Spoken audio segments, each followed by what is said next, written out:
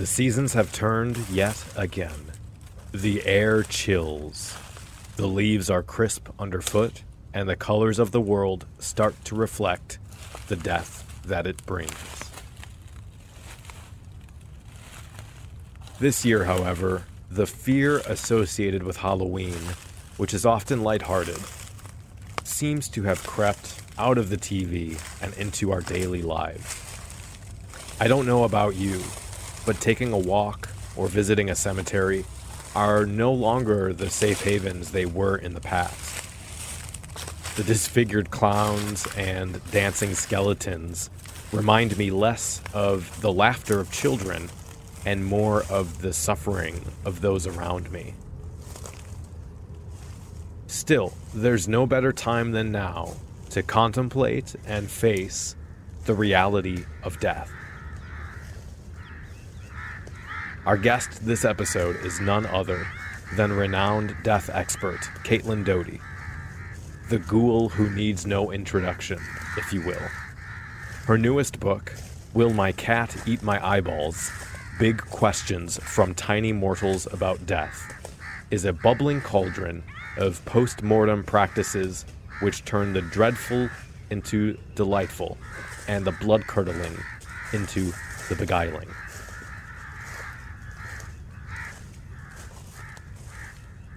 When many of us need a reassuring hand to guide us through difficult topics, Will My Cat Eat My Eyeballs becomes a welcome companion into exploring the world of death. So, Caitlin, thank you so much for being here. I'd like to start by asking a bit about your background, where the desire to be an advocate for thinking about death began and how that developed for you.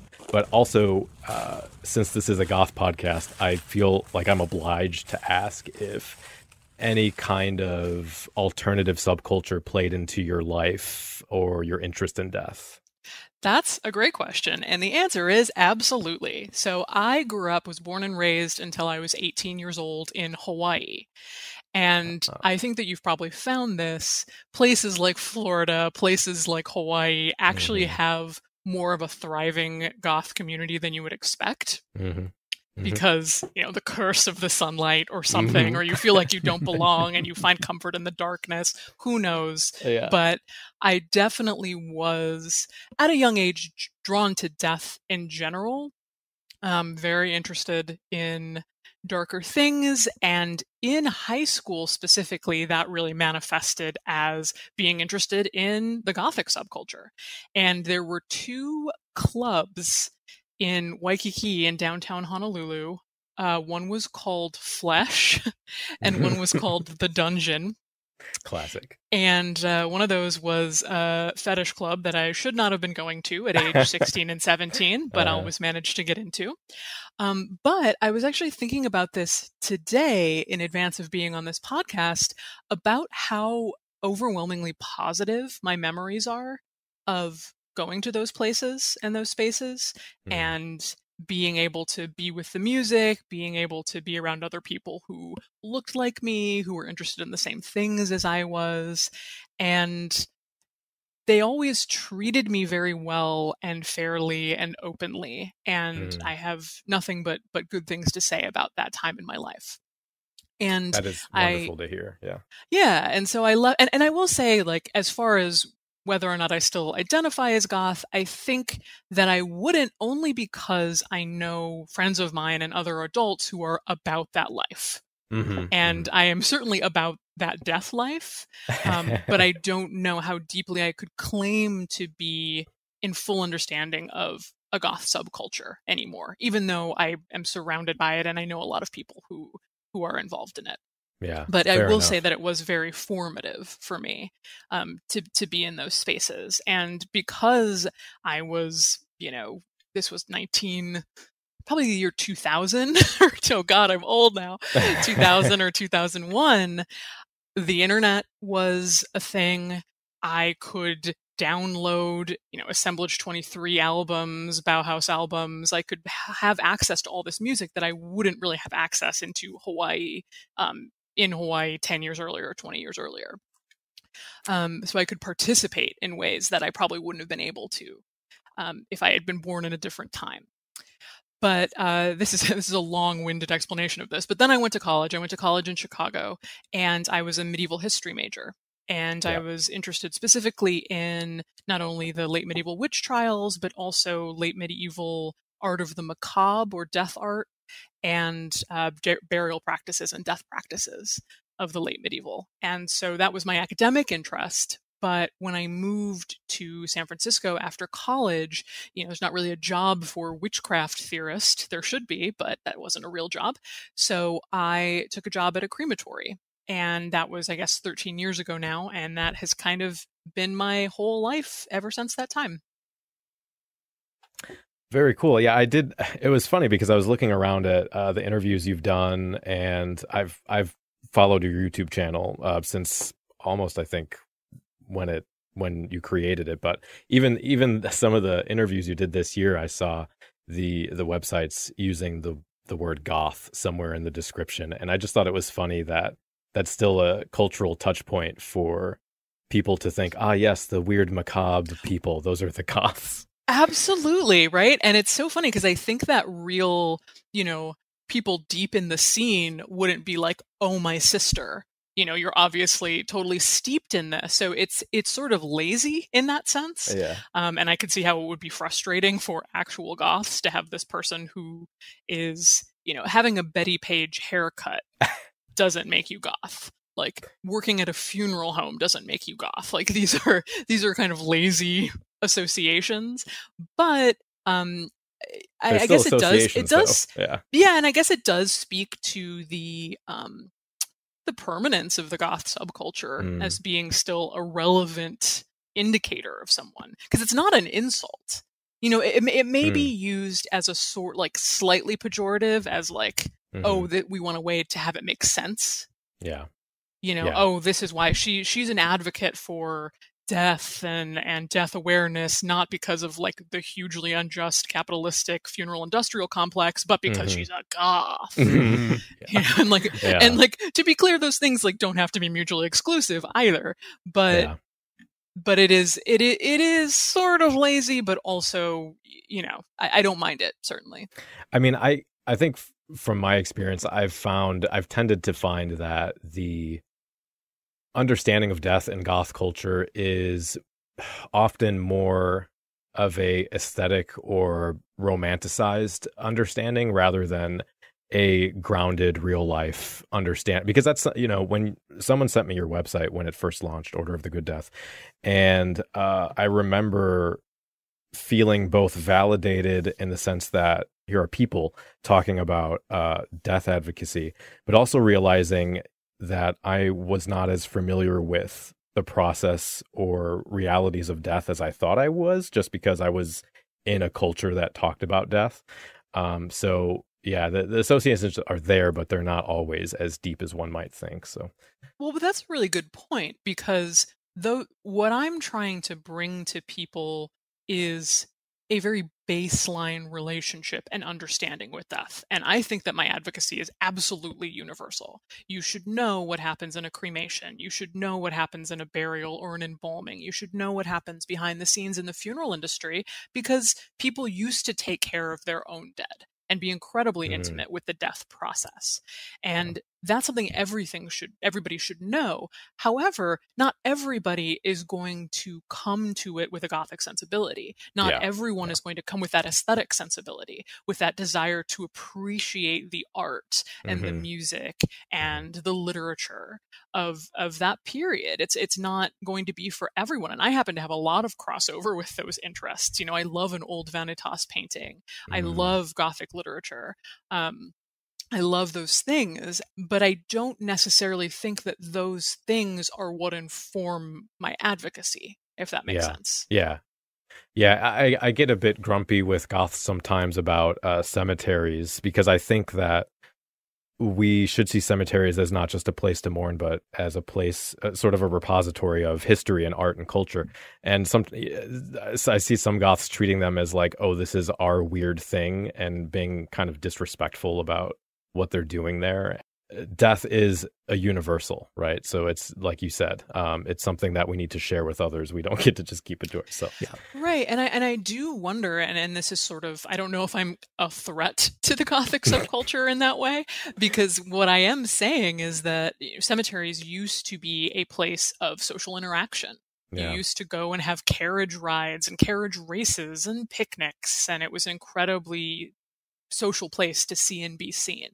And that's obviously changed and and and taking care of the of the dead was something that you did in your community and you did with your family and that's changed. And so yeah. some and i'm not saying this is the heart of of being goth in any sense but there is a kind of um, being delighted by the taboo of it you know, yeah. there is a there is right, a feeling right. of I'm in this cemetery where others fear to tread, mm-hmm. and I yeah. am interested in behind the scenes of of being an embalmer or the funeral industry where others fear to tread, and then you have me being like, everyone tread on in, like, come on in. Everybody needs to know this. Everybody should see it. I'm happily showing you all of this. Mm-hmm. And, you know, I can see why, in some ways, that sort of takes away. I mean, it's same thing with like a fetish community. If everyone you know mm, is like, I'm yeah. so kinky, it's like, okay, yeah. where's the, the joy in that anymore? Yeah, we've had discussions yeah. on the show about, you know, when when goths seem to value the obscurity of their hobbies and their interests rather than sure. just reveling in them because they love them. They just they like the fact that it's like I said, transgressive or obscure or odd. And that's a thing. And then there's also the the stereotypical goth checklist of have you had sex in a cemetery? Oh, check that box off, uh, yeah, which yeah. is in, inherently problematic. How many pumpkins have you put up your ass? You know. I mean, that's I still, you know, because I have yet to put a pumpkin up my ass is why I cannot fully call myself goth, and yeah, I admit that to you today. It, yeah, we'll send you the card once we reach that point. Um, but at least from my perspective, it seems like you are kind of the voice of death positivity and, and advocacy for talking about those things. Um, so, you know, going from working in a funeral home to putting out this website to being a published author and, and giving lectures and doing all these interviews. I'm I'm just curious how that has kind of changed your life and also if you found that you had to struggle to get to that point and gain recognition as a woman um, in the funeral industry? Yeah, that's a lovely question. Thank you. Um, I think that in some ways my life hasn't changed all that much you know i've i've worked either in funeral homes or owned funeral homes which is a different thing entirely but mm, but it yeah. you know i've been in the funeral industry basically the whole time. Um, i've been writing the whole time. I've been making this web series the whole time. I think that in many ways the slow burn and the slow rise of myself as an advocate and recognition of me and how many eyeballs I have on my advocacy has been very, very positive because you really, to be able to be a woman on the internet, the only way to do it is kind of to be a lobster in a pot where mm. it's getting hotter and hotter mm-hmm. and hotter, but you just get used to it.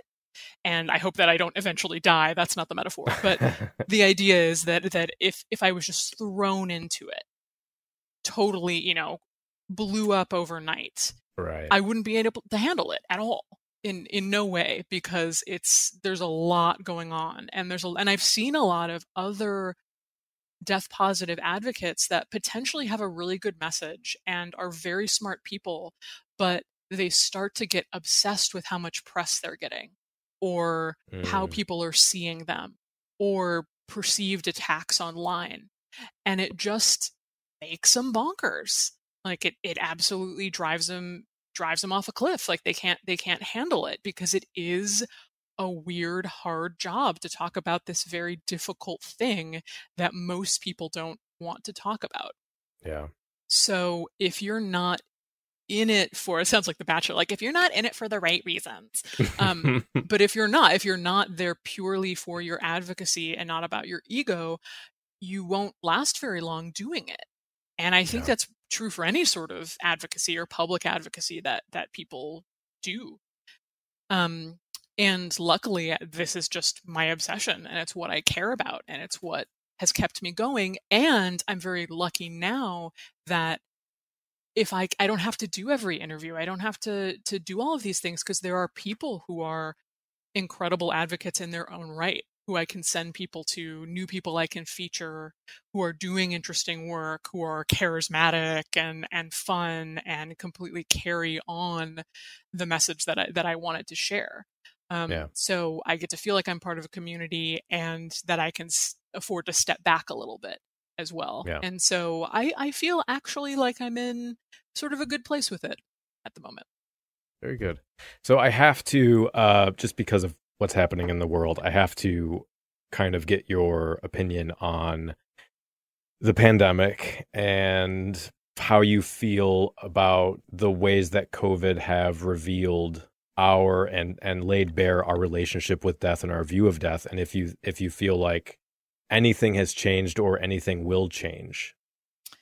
I hope so.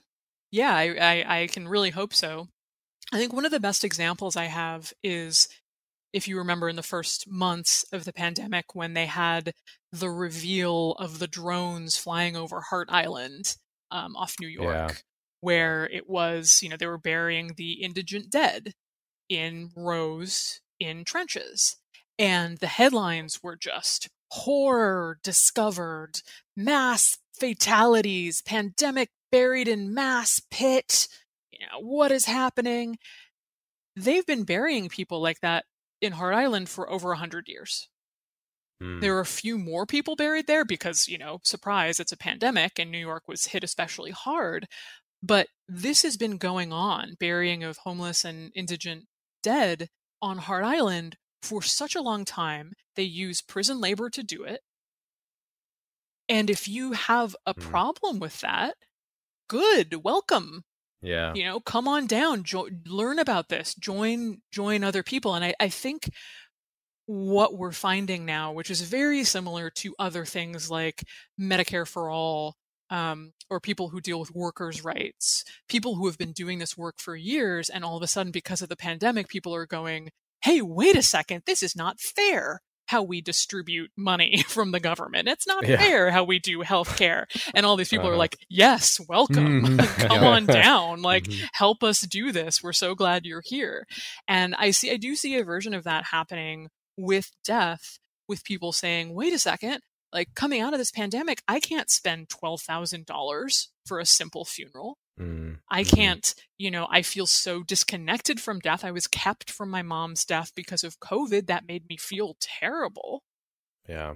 Yeah.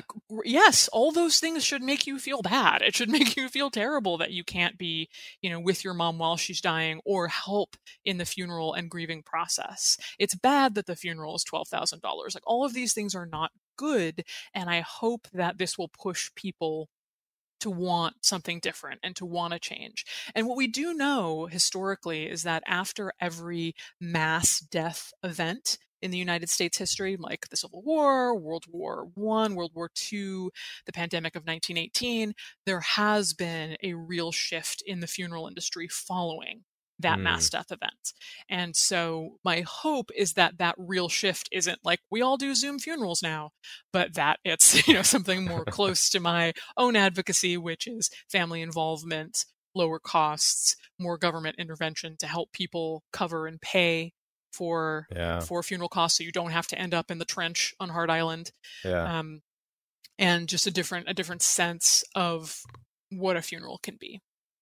I think what this has highlighted for me, and actually, I was just reading an NPR article about this, but the fact that uh, you have minorities, you kind of have, have the two different Americas, right? You have minorities and then white people and people who are uh, more upper class.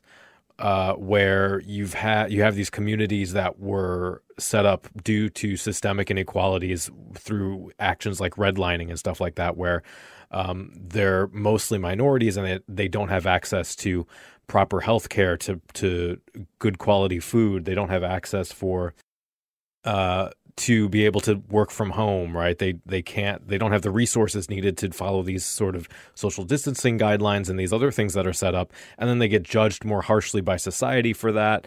Uh, the police treat them worse. They don't have the um, economic resources that white people have. There, I don't remember the exact statistic, but uh, there is a large disparity also in unemployment as well because the system was already set up to deprioritize these people to disadvantage people of color.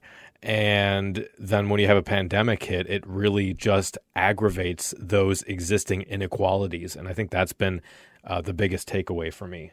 Yeah absolutely. And i do think that people because of the financial aspect of the pandemic and like you said the the racial the economic disparities of the pandemic i i do hope that people say hey wait a second why is it that there's no government support for funerals at all? Like some individual states have support um, that you have to apply for and you, it's not that Ooh. much it's $300 $500 if you're lucky no federal support at all i hope that it makes people go wait a second, so you're forcing people to mm, go to a mm, private yeah. business?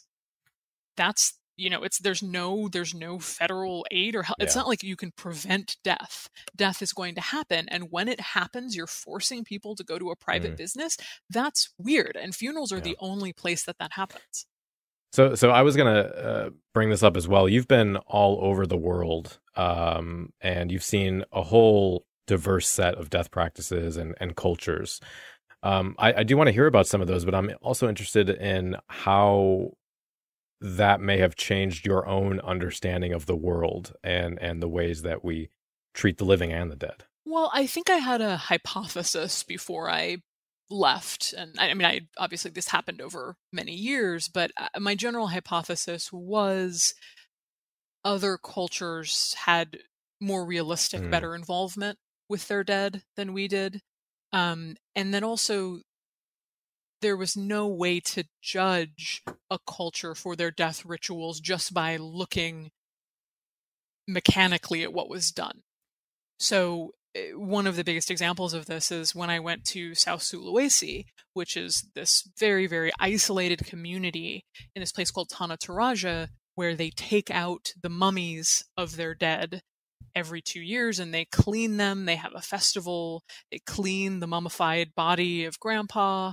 They walk him around the village. They, they bring him cigarettes as offerings. They change his clothes. They're incredibly interactive with their dead bodies and they believe that there's a continuing relationship that actually sits within the dead body like that that they could talk to the mummy and and mm. there's some sort of interaction there and you go and you see it and it feels completely normal. It feels like a potluck picnic that happens to have mummies at it. And the family and the community are pe- are completely involved. And if it was someone who died recently, there's crying because they miss the person so much, and children are there and they're involved. And it feels very normalized. It feels very welcoming. Um, and when you look at pictures of the ceremony online, it will just be flooded with comments from Western countries, probably mostly America, that's like, oh, mm. God, disgusting. Why can't you let these people rest in peace? How dare you, you know, play with the dead like this? What are you thinking? It's like, what, what are you thinking telling this culture how they're supposed to handle their dead and how they're supposed yeah. to grieve? Especially since what they're doing is so much more interactive and meaningful yeah. than what we're doing here in America. Uh, one thing I wanted to, to mention in, in conjunction with that is um, when things like traditional practices, religious practices, etc., can pose a risk to the population, and how do you how do you address things like that? I'm thinking primarily of uh, the cases of Ebola in West Africa, where some of the practices of being very intimate with the bodies, the the family washing the body, the family caretaking it, has promoted the spread or seems to promote the spread of the disease and how to address that or if, is there any way to address that while still maintaining the cultural sensitivity to understand that that's their practice but that it is also endangering their community to some degree? Yeah that's that's a great question i'm glad you bring that up because first of all people should know that ebola so far as we know is really one of the only diseases, infectious diseases that we need to be concerned about right now as far as transmitting after death. And to be clear, we're still not sure with COVID 19, although there's a lot of evidence to suggest that it's not going to be infectious at all after death, especially now that mm-hmm. we know that it doesn't mm-hmm. really stay on surfaces that long. Um, and also the way that the virus encapsulates is different from Ebola and other more infectious viruses. Um, so I really, my guess at this point, don't quote me on this, would be that that it's going to be safe. But what we do know is that dead bodies are safe to be around. And that's why other cultures, like in West Africa, have incredibly intimate relationships with their dead. They wash them. They, they sing and dance around them. They weep, they wail, they hold their hands. They're, they have a very moving ritual around death. And it is when something like Ebola comes, which is basically you're talking about just immediate cremation or immediate burial. No one should be around that body at all. It's actually very similar to what we've been dealing with at the beginning of COVID in the United States, where the bodies just disappear. You know, they get taken from from mm. the hospital and get immediately cremated. And it's horrifying and very, very sad. And death rituals are so so so important to a culture especially cultures that still take death rituals very very seriously and so to not have that i don't i don't know that there's much that you can do other than explain the reality and know that the grief is going to be complicated for a lot of people because they don't have that ability to move forward. It's the same thing as like a body that goes overseas to fight a mm-hmm. war and disappears and dies or is blown into pieces and goes down in a plane crash and you never see them again. You have to deal with that kind of un unfulfilled grief unrealized grief. And the body does so much to help people accept the reality of death. And i don't even know what i would say to that other than i'm mm-hmm. very very sorry because it's terrible that a disease like that yeah. took that ability away from you yeah, I I feel like in America at least there's this uh imperialist tendency tendency I guess to kind of impose one way of treating the dead as a morally correct kind of universally accepted pre-given thing. And I think that's really unfortunate because it does like you were saying diminish the the importance of the ways that other cultures deal with their dead. But yeah, well, it's wild because when when we first introduced embalming in the United States, which was the late 19th century, early 20th century, people in the United States thought it was deeply sacrilegious mm-hmm. and deeply profane because you're talking about, you know, removing internal organs and draining the blood and and you're desecrating the body mm-hmm. by doing that. And we've come to see embalming as a thing that's just done. And I, I would argue it's done far too much, but it is accepted as a societal thing that's done yeah. if you're not Jewish or Muslim. It's just accepted, but that's a wild different change in the last 100 years, 150 years. So what we know and, and this goes for anything that you're talking about, if you know, if you are so sure that you are right and you have the moral high ground and this is culture and this is how it's done, just read a history book. Mm. And realize that 50 years ago, 100 years ago, things were done completely differently. I came mm-hmm. across this uh, hypothesis I wanted to kind of get your opinion on and maybe ask a, a bit of a broader question. Uh, it was it was by uh, Ernest Becker, who uh, you've probably heard of. He was a cultural anthropologist, and he he basically hypothesized that most of the harm conducted in in the world is a result of a redirection of the existential threat of death, and that when we start to fear death culturally again, it gives rise to things like xenophobia and war, in in kind of this ironic way where we are in an effort to uh, rid the world of death anxiety, we are bringing about the death of others. Um, and he kind of related that to this idea of the fear of alternative conceptions of reality or different ways of viewing the world. Because when you're confronted with, like we were talking about other cultures, it tends to become its own existential threat because it undermines your own certainty in the way that you view the world. Um, now, I, part of me feels like pinning that exclusively on death is an overreach. but seeing how these conspiracy theories around masks and viruses have cropped up all over the place, I feel like it does have a bit of explanatory power where, where people are even going just straight to denialism in order to feel like they have a sense of control. So I, I, I kind of wanted your thoughts on that, but I guess if I was going to make that a question, I, I would ask Do you think that a sustained conversation and acceptance of death on a broader cultural scale can address some of these serious uh, existential threats like climate change and things like that. Yes, absolutely. And, you know, unfortunately I'm a big Ernest Becker stan, an original okay, stan. Okay. So I have uh you've Great. you've opened a can of okay, worms good. when you ask about Ernest Becker. Um what I what I do believe to be very true is his contention that each human lives to have a hero project that mm. our self esteem as human beings require us to have heroic projects. And the definition of a heroic project can mean something totally different for each person. Like having a podcast is a hero hmm. project. Mm. For me, my advocacy, my web series, my books, those are my hero projects. For some people, having children is their hero project, something to live on in the world. Uh, for some people, building a building or writing a book is a hero project. Mm. And when that is threatened or when that is cut down and their self esteem is taken away that they've wrapped up in that hero project, that can be incredibly, as you said, existentially threatening to the very fundamental nature of, of their being. And I do think that Donald Trump is a great example of this.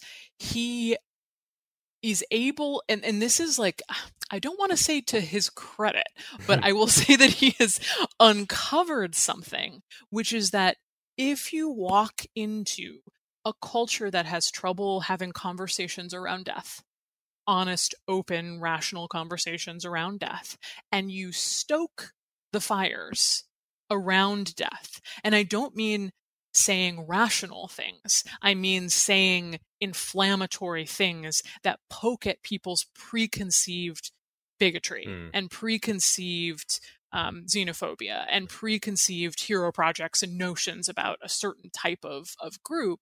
If you come in and say Mexicans are rapists, mm-hmm. if you come in and say all the black people are shooting each other in Chicago and they're going to shoot you next, yeah. if you say that, you know, terrorists are coming across the border and they're going to do this to you, it stokes that fear of death immediately. It's a threat, and it also reinforces their pre-existing pre-existing notions. Yeah, identity protection. And so yeah.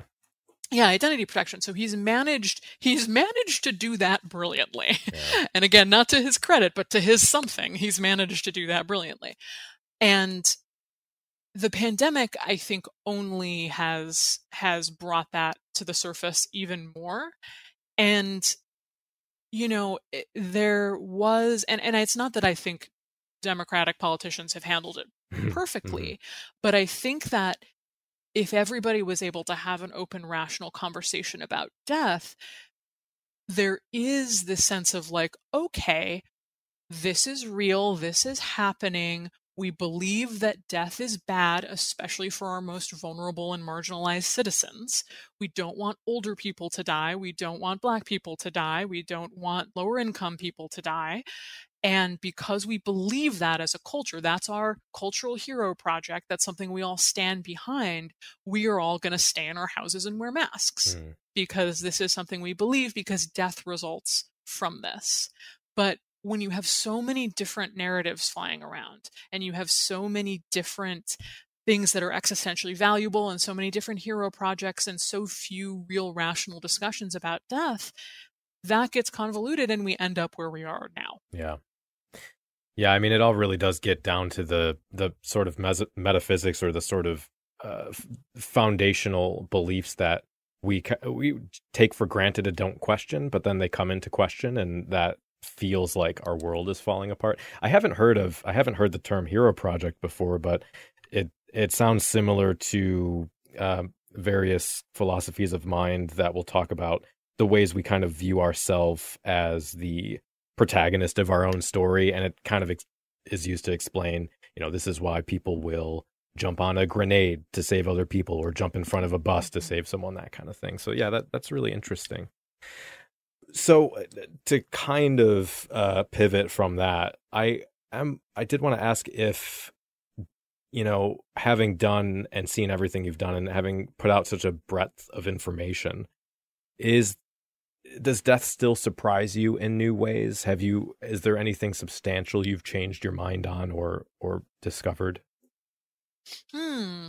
I I try to let it change my mind. Mm-hmm. I try to learn new things all the time. I, I, was thinking last night, actually, I'm preparing for a, I'm doing a book tour, or not a real book tour, a virtual book mm, tour, mm-hmm. which I guess is real now.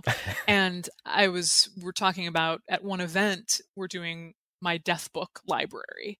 And I found this book that I read years ago, but I ended up using it in my first book about cannibalism in this tribe in rural Brazil called the Wari. Mm and how they do in-group cannibalism. They it's not mm-hmm. the direct, you know, spouse or child of the person who's died, but the in-laws will consume the person because it's an incredible gift to the immediate mm. family. To know that the body's not in the cold ground. And it's not a pleasurable experience. They're not eating it for food. They're doing it to support and keep the community tight knit. And I remember reading that and feeling in the moment where I felt sort of burned out on all this research, mm. being like, wow, this has blown my mind open. Mm. This is something I didn't know and didn't understand prior to reading this this piece of anthropology. Mm. And it's moments like that at this point that I live for because they're the moments where I'm like, oh, right, this is so interesting. I have the best job in the world.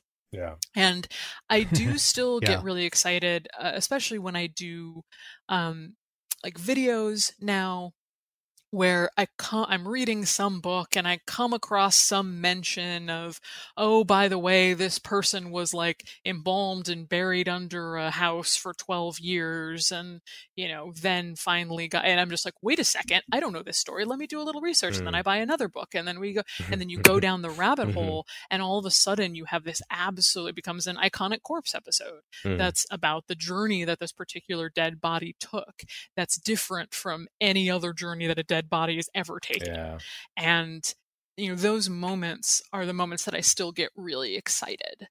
And it's not that I, I love, I love, I love talking about aquamation, new death technology. I love talking mm-hmm. about green burial. I love talking about embalming. I love talking about the basics and because that's my what my advocacy is primarily built on. But for me at this point I'm so steeped in it and have been for so many years that when I can find some new thing that I right. haven't heard of or that changes my perception on a body or as a story that is weird and wonderful. Those are sort of the moments that I live for.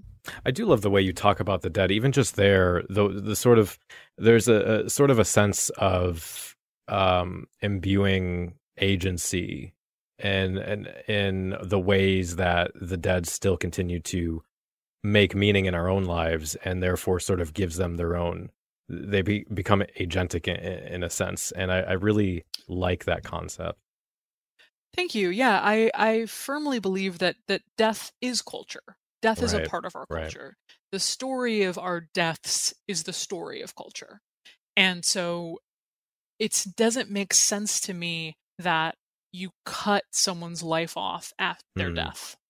Yeah. Because the ways, you know, even if you look at sort of a celebrity like Michael Jackson continuing Yeah. to influence culture for better or worse, you know, yeah. conti- or Breonna Taylor, for example, mm-hmm. massively. I think all the time I watch the NBA, which makes me not very goth, but I love the NBA. Um, and you know they've they've turned into Breonna Taylor on all their jerseys and all their shoes. Yeah. Imagine if Breonna Taylor had known what was going to happen and what her life was going to stand for and mean, and the way that her narrative continues to shape culture because of because of this death and why we're so angry about her death and how it mm. happened mm. and why we feel like the state shouldn't intervene in people's lives and deaths yeah. and all of that is death and culture and it just gives me chills to see how it's all connected yeah Uh, going back to something we kind of kind of briefly mentioned uh, earlier on, talking about your career, I've uh, having having been goth most of my life. I've talked to many many other goths who either in jest or in a serious way have uh, expressed an interest in working in a cemetery or a, a funeral home or uh, being a mortician. And um, I, I think I only know one or two people who have actually gone to school and gotten careers in that field. But I, because this is something that comes up just drinking in a kitchen at two in the morning with other goths, I wanted to see if if you could kind of explain what to actually expect when working in that field. Um, uh, beyond what I assume involves a lot of silk capes and vampire parties and that kind of thing. Yeah, it's it's incredibly goth. It's fun all the time. You'll just, you know, play No Mountain as you embalm. It's just incredible. Um I would say expect, you know, you're entering if you want to be part of the funeral industry, you're entering an industry it is an industry and the problems that you have with whatever current industry you're working in you may very well continue to have mm. by entering the funeral industry. Um, should it be better? Yes. Is it? Probably not. In most states it requires at least two years of schooling some sort also should it be that way? Probably not. Is it? Yes. Mm. Um, it requires like an associate's degree, a certain amount of embalming training, and some sort of internship, whether it's an embalmer or funeral director, you know, depending on what type of uh, part of the industry you're trying to go into. Hmm. Most likely, you will have to work for either a corporation or a nice mom and pop place, but that still has some pretty old fashioned values around it. Um, so you'd have to cover up any tattoos, mm. cover up any piercings, and be very nice to the widows that are coming in to do it. You have to be very pro social. You have to be able to have those kind of hard conversations. And, you know, it's not being a funeral director is a very it's almost like a customer service job mm, to be honest yeah. i would say that that mm-hmm. is the that is the closest oh, yeah. it's like a party planner slash customer service representative right. mm-hmm. and embalmers you know it's it's there are some places where you can be exclusively an embalmer and exclusively work with the dead bodies but most places will require you to do multiple things um, unless you work for a big centralized corporation that has like you know house of embalming in the middle of town mm. you probably will be required to do a whole bunch of different things. Um, and that's actually for me what i really liked about the job when i first started doing it that i never knew what the next day was going to bring. You know am i picking up a dead you know arson victim from the mm. coroner's office? Am i going to the hospital? Am i meeting a family? And am i am i doing a witness cremation. You know, each day was its own thing. Am I washing the van? Who knows? Um, and I actually really liked that about it. So I will say that there is a lot of novelty, but but the number one thing that I would recommend is one try and get even just an entry level simple job in the industry before you commit to mortuary school and the testing and the whole thing mm-hmm. because it's not for everyone and you might not know if you like it. Yeah. And the other thing is that there's a pretty high burnout rate because it's a hard job, um, mentally, I mean, and uh, emotionally.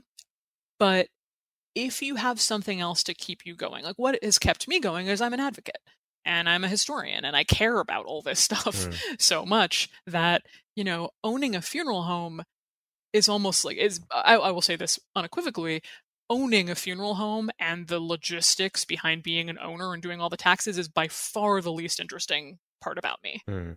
in my life. Okay. Yeah. So if you don't have other things that you're invested in and other narratives that you're invested in that weave together with it, it also might not be the right job for you. Yeah. Do you find that you grow accustomed to being around dead bodies uh, over time, or is it still you you you know you mentioned how emotionally difficult it was. Is that uh, still difficult now? I still get well. The emotionally difficult part, I would say, is dealing with the families, not so much the the dead bodies. Although, of course, if you have a horrible fear of dead bodies, that will also sure, be emotionally yeah. difficult. Um, I I find that dead bodies still give me a little thrill, not a mm. salacious thrill, just like a a thrill of seeing a human in a different state. Right. Yeah. You know, like you're in a coffee shop and in pre-pandemic times and you're surrounded by 15 people and you don't even notice them. You're not even aware of them. Mm. And then you walk into a body cooler and there are 15 corpses there. You're very aware of them you know all of a sudden these people in a different state it's it's a really um you know it's a it's a fascinating feeling yeah to, to sense that difference and even you know i now i i honestly i i hardly see any dead bodies at all because i'm the owner i'm not the person in the trenches but I worked for years. I was a long haul corpse trucker, so I was taking, you know, transporting 15 bodies a day, hauling them in and out. I worked at crematories that that cremated hundreds, if not thousands, of bodies every year. Um, so I've been around uh, the bulk of dead bodies in my life, but I would still say that they continue to be interesting mm. and continue to tell stories, not out loud, yeah, but yeah. with their with their presence and how they died and and what their you know what their history was, yeah. what their families like, and I I still find them very interesting, and that's another thing that that keeps me going. Mm. I remember the the first time I saw a dead body was at a, an open casket funeral, and I don't remember anything else other than I distinctly remember my my dad telling me that uh, I'm an atheist now, but I asked why he looked why my uh, grandfather looked so strange, and he said, "Oh, that's because his soul has left his body." Uh, but I've come to realize I think that's probably because he was embalmed, and they, they yeah, it, yeah. Uh, that's a that's a great story. Actually, I'm sorry if it was traumatizing for you, but that is that's a that's a story that really hits home. I think for so many uh, people our age of the feeling of and it's something about i don't know if it's like a millennial thing or a gen x thing but but this feeling of I, I look at an I look at an embalmed body and it feels uncanny mm, mm-hmm. for me. It doesn't feel like necessarily the right way to grieve. It doesn't necessarily feel like um, it resonates with me the way that other methods of of grieving might. Yeah, there's like an artifice to the way it's mm-hmm. presented. Yeah, and uh, and that and that's by design. You know, that's entirely by design. I just think it's a design that maybe aesthetic. You know, we don't have the same uh, shag carpeting right, right. that we used to in the 70s. Yeah. Like design mm-hmm. and aesthetics change, yeah. and I think that this is a a thing that has has changed. Yeah. And the funeral industry has not necessarily adapted along with it in our uh, in our previous interview with Loren Rhoads, she mentioned that uh, she she basically said she has a seemingly different, more solemn perspective on death than some of her, um, I guess, death positive colleagues, which she attributed to her age. And then I, I recently listened to an interview with a social psychologist uh, uh Sheldon Solomon, and he he mentioned that despite dedicating his career to being a proponent of death familiarity, he still struggles with death anxiety as he ages, and sometimes he feels like his he's used his work to well, he said he kind of goes back and forth, but sometimes he feels like he's used his work to intellectualize death as a kind of coping mechanism. So I wanted to ask if if any of that compares against your own life, and do you feel like we can, I guess, eliminate at least individually um, that existential anxiety of death? That's a fantastic question. Um, I will be very firm on this. I do not think the goal is to not be afraid of death mm. at all. I absolutely do not think that the goal is some sort of Zen complete acceptance of death. I mean, if you if you believe that you can reach that and that's your goal, more power to you. I wish I had more of that, but that's not the goal of my particular movement or, or my understanding of it. I think that death is incredibly difficult. It's incredibly existentially threatening. And the goal is not to not be afraid of it. The goal is to be self aware enough to know why you're afraid of it. So, and something I was going to say, mention earlier when we were talking about Ernest Becker is I believe that death is the real key to self awareness, which I think he mm, does as well. Yeah, I do too. That if you really engage with the reality of death and why you're terrified of death, it will tell you a lot about yourself mm. and and things and and and the things that that tend to affect me the most personally and, and mentally are things that threaten my work because my work is my hero project mm-hmm. and my work is to help people be better with death and if i die too early then i can't keep doing my work right. you know it all it all connects and the fact that i can rattle all that off to you I hope shows some self awareness on my mm. part. I'm not proud of it, but it is what it is. It is my relationship with death. Right. It is the things that I work on. It is the things that I have to focus on. And I do feel incredibly grateful that because of my work, I have the ability to interrogate those things. I have the ability to see it all laid out mm. and try to understand myself better. Because you know this, you everyone in your life, you have people who you know have not been doing a great job at interrogating yeah. their relationship yeah. to the world and their relationship to their own mortality and their relationship to so many things. And I do think a more practical relationship with death can really help that. And if you stir up some shit, that is hard. But you're doing something rational and beneficial for yourself by doing it. And at the end of the day, I have to I have to support that. That is beautiful. Thank you for sharing that. Yeah, that's great. Um, I, so I wanted to close out the show by asking a couple questions that I felt were more in keeping with kind of the spirit of Ask a Mortician and and really uh, will my uh, cat eat my eyeballs. Uh, so so both of these questions are based on memes um, because that's where all the greatest thinkers exist these days. So the first question um, comes from actually it was someone who had minor fame in the goth industrial scene during the mid 2000s but so this me- this mm. meme has been around for a long time but it basically stated something along the lines of uh, he was saying that he feels satisfied knowing that every homophobe of the last few decades is spending eternity with a butt plug firmly screwed into their ass. uh, so I wanted to see if you could explain what's going on with that. Sure. So it's called an AV plug, which is a anal vaginal plug. And if you haven't seen this meme, it basically looks like a little twisted dildo, a little plastic twisted dildo mm-hmm. that is used in the funeral industry because, and what's interesting is that, like, if you are like a, a homophobe, you're pro- no, I I have no evidence to support that if you're a homophobe, you're more likely to be embalmed. I'm just saying that in traditional communities mm-hmm. mm-hmm. or like traditional uh, Christian communities or mm-hmm. or whatnot, that there tends to be more embalming there.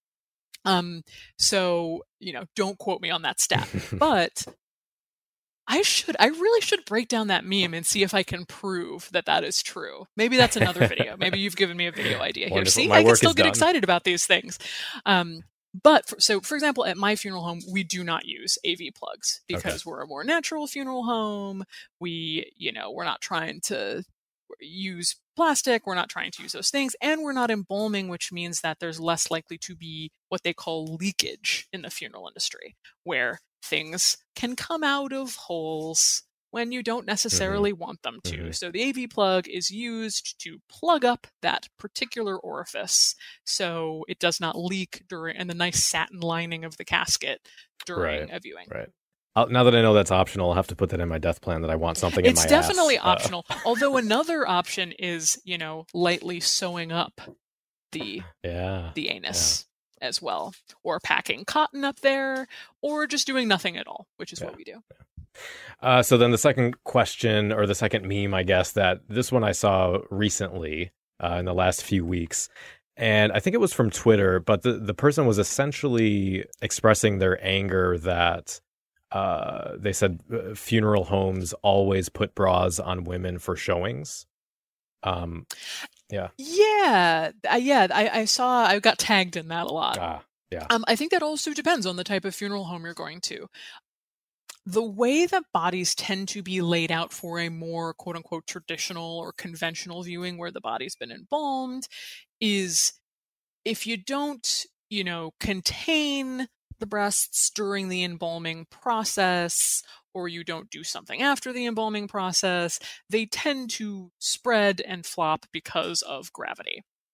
So you do, you probably do want to do something just to make mom or grandma in the casket look, you know, a certain way. But at the same time, if you come to a funeral home like mine and grandma is just shrouded or she's just laid out and, and she's not embalmed and she's looking very natural, mm-hmm. In that case, we, we probably would not bother with a bra. Mm. It's not necessary, um, especially if she's going to a natural burial after it, because you're not allowed right. to have fabrics that aren't all natural, that aren't cotton, that aren't hemp, that aren't something like that. So unless grandma has an all hemp bra, um, it's you know th- that wouldn't go in there anyway. So um, I don't think it. If I, I think it again, it depends on whether or not you want the body to look a certain way and be contained in a certain way. Whereas I personally like death to be a little more messy, a little floppier, yeah. if you will. Yeah, yeah, I agree. That a little freer. Lovely, wonderful. Thank you for clearing that up.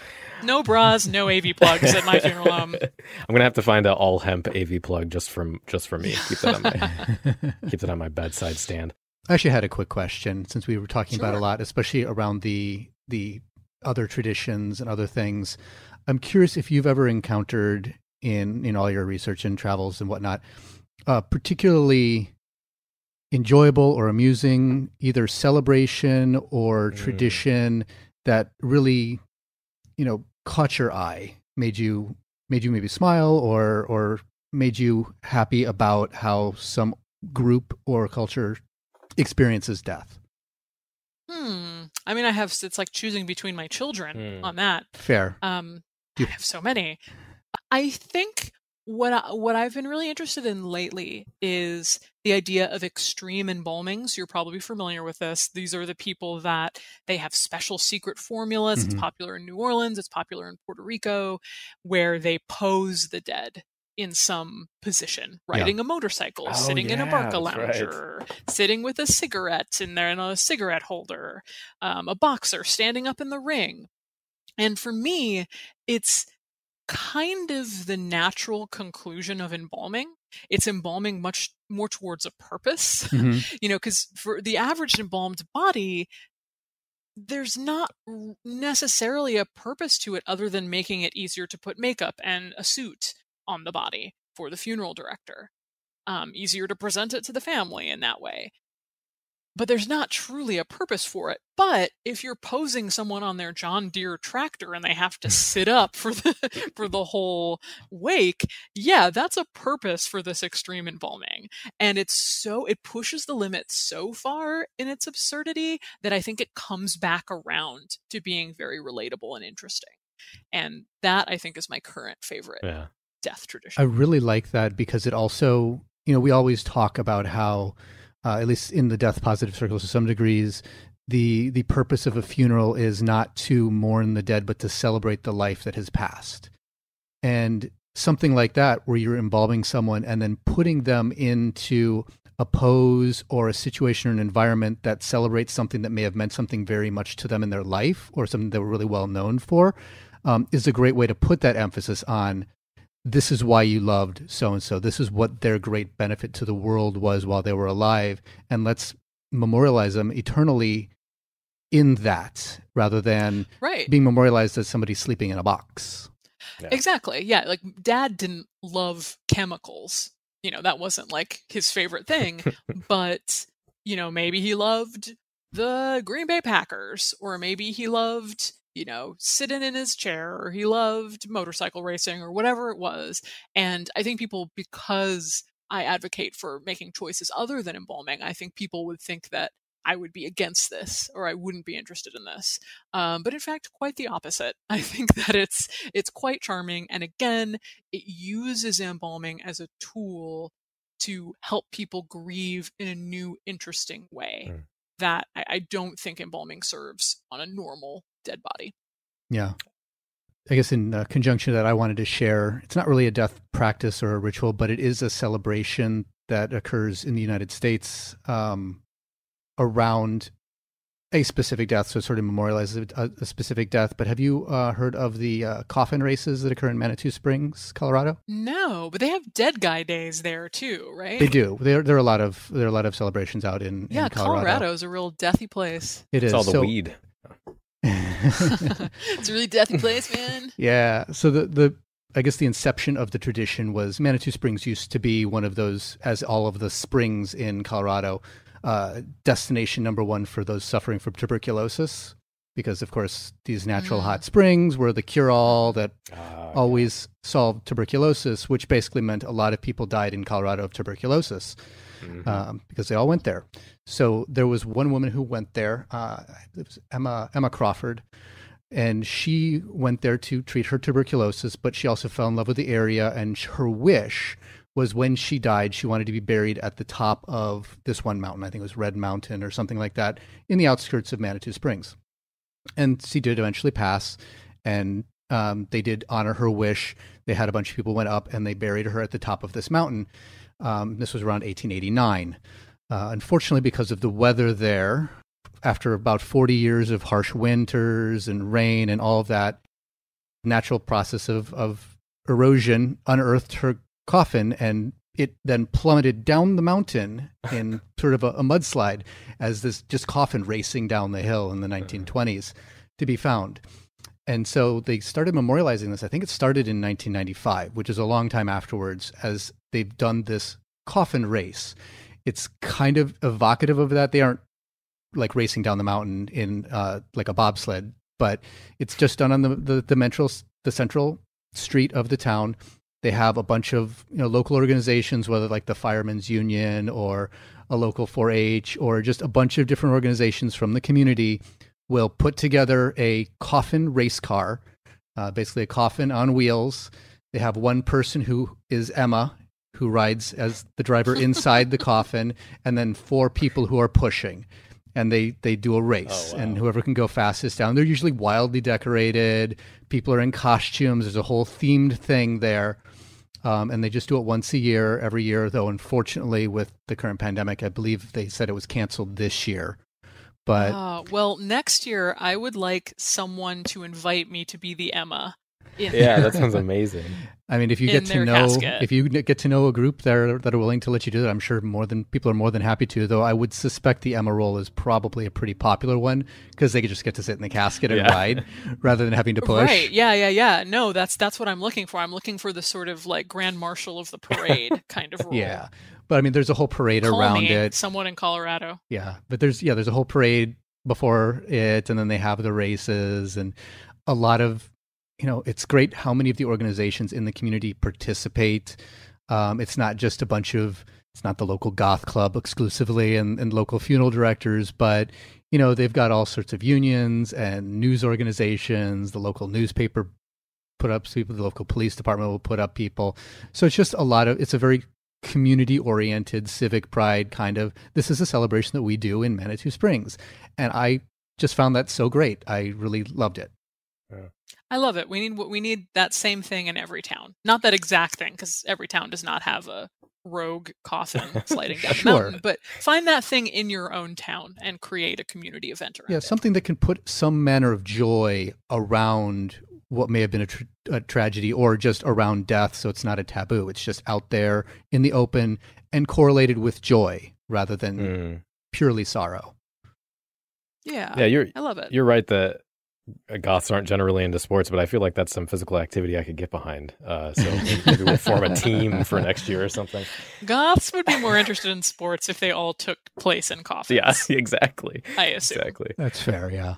All right. Well, again, your newest book is Will My Cat Eat My Eyeballs? I highly recommend picking it up. It is uh, uh, just as witty and humorous and informative as the Ask a Mortician content that we've all come to love over the years. So I will be sure to have a link to that and your channel and everything in the show notes. So everybody go check that out.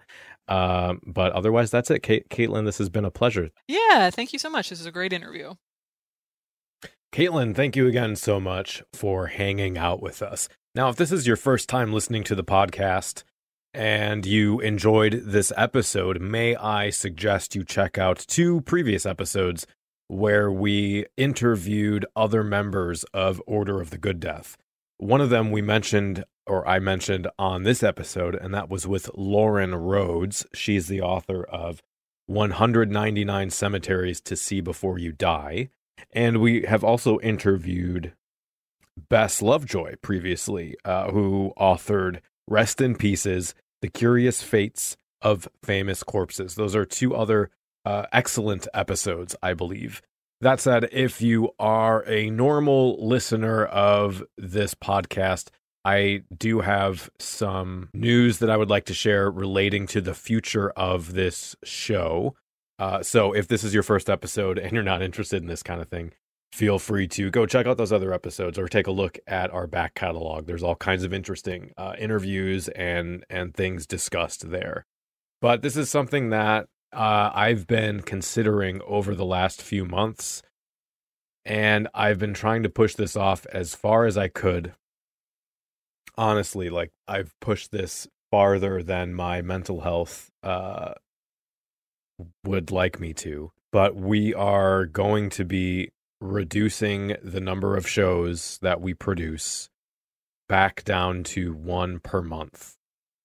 Uh, if you'll remember, we started putting out two episodes a month a couple years ago after we reached a goal on Patreon. This is this is ideally going to be a temporary reduction. At least it'll be for the end of this year. I don't know about next year yet. For those of you on Patreon, I am going to continue putting up content. So I've already recorded a couple videos and I've got more in the works. Uh, but you can expect on the 16th of this month for there to be a, a Patreon only video uh, for you as a thank you for your support. But when it comes to the decision to lower the number of shows back down to where we started, I mean, I'll be candid with you. This this show is my life's work. It really as corny as it sounds is is kind of my magnum opus. I've I've tried doing similar projects in different formats over my whole life and this is the one that is really the culmination of my life's work in a way. And it's also a result of my passion and love for the goth scene, which is very dear to me and an integral part of my identity. This year has been hard for everyone, um, and I'm no exception. Many of you know already this is essentially my third job. I have two other jobs, and then I do this as well. But I also have a family and my own personal hobbies. And if I'm being honest with myself, those two things, my family included, very often take a back seat to my work and this podcast. My son is doing schooling from home this year. And if you don't have kids, um, I guess I can describe it as briefly as essentially having another job. Dealing with that, obviously, I'm not doing it only by myself here, but it's been more work, time, and energy than I thought it would be. I love this show deeply, but I also love my family. And in an effort to avoid burning out and hurting my family or hurting you, honestly, because it's going to impact the quality of the show. Um, I've decided to reduce the show from twice a month to once a month. This is something I continued to push off, and honestly, I I got to the point where nearly every day I was very close to just completely shutting the show down because I was on the edge of a breakdown every day. And that is not something I want to do because of my love for the show and because of my love for you. I don't want to do that to you either. And so I'm trying to you to to do something that can fall somewhere in the middle and keep the show going because I think the show is important. You know, I, I'm a fan of a lot of different creators and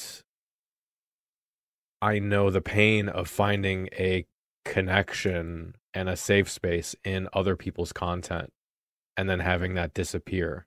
And I have been so proud of how this podcast has persevered and consistently released episodes for years, especially in the goth space where that's less common.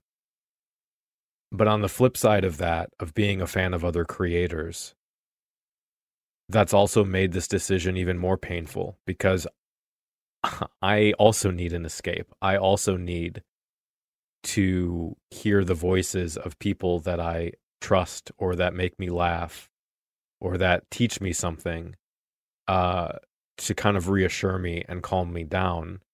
And if this show is that for you or anyone out there, I don't want to take that away and I want to give you as much as I can. But in the process of that, I've kind of ignored really for years my limits and pushing those pushing beyond those for so long has not been healthy for me. When I was younger, goth magazines were a massive influence on my life because this was before open access to the internet. And these were windows into a world that I wanted to be a part of. And I'm still sad that those have disappeared now, but that's the kind uh, that's kind of what I modeled this podcast on.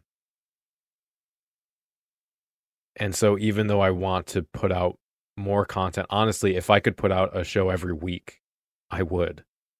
Um I also don't want to crash and burn and have this show just disappear because it breaks my heart now that those public publications are gone and it would I know it would break my heart if I had to stop doing the show. Especially for me looking back at the episodes we've done this year which I think have been some of our best ever. And I I want to continue that quality I don't want to just put out shows to put out shows. It's I mean this isn't really that kind of thing. It's not a Twitch channel, right, where you pop on somebody that you enjoy and uh hang out for 6 hours and just talk about nothing. That's not the purpose of this show. But because of the rigor and research and quality assurance that I at least attempt to put into it, uh, the bar for the amount of work that goes into this show is even if it's something I arbitrarily hold myself to, it's very high. And I also want to be clear though, it's not just me. This show would also not exist without Trey and without the guests who so generous generously lend their time to this show and to our supporters on Patreon.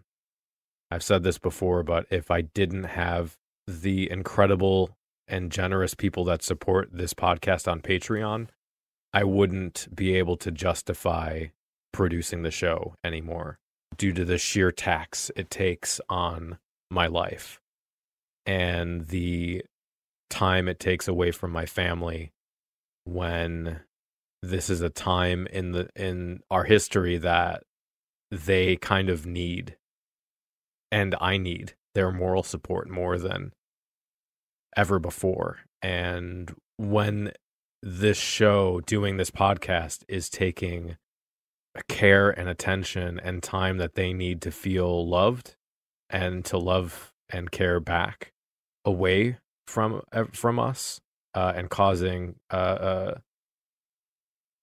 pain in that way that's just not something that i can do anymore. So in a way, you know, I'm I'm I'm actually having to force myself away from doing more shows because intellectually, even though I very am very passionate, I know that it's doing active harm in my life right now. But my instinct and desire is actually the opposite is to just work harder and longer and make more content. So that's why uh, I haven't mentioned this until now, even though this has been ongoing for almost this whole year. So I can't promise a return date for when we may go back to, to doing two episodes a, a year, a month. That's absolutely a goal of mine. But all I know is that for now, at least for the end of the year, we're going to be just putting out one episode a month. So, in the interest of letting you know what we have coming up, next month we are having DJ Mary Millions and Sean Dietra on the podcast. They do uh, right now. They're DJs out of Texas, but they're doing Sisters of Mondays on Twitch, and we're going to be talking about what it's like to be a DJ in a pandemic. We're also going to be just chatting about general goth stuff because we haven't done it, something like that recently. So I want you all to know that I care about you. I am so grateful that you have been here with me. For those of you on Patreon, expect some new content on the 16th. And that's something I'm going to continue through the end of the year. So even though it's not a full episode, you will have some kind of video content um, on Patreon. And if if you do would like to uh, see that content or just support the show, you can go head over to patreon.com slash cemetery confessions uh, and take a look at our uh, tier rewards. So that's it for me. Thank you for spending some time with us. Until next time, stay dark. The preceding program is a member of The Belfry, a network of blogs, podcasts, and videos for the darkly inclined. Go to thebelfry.rip for more information.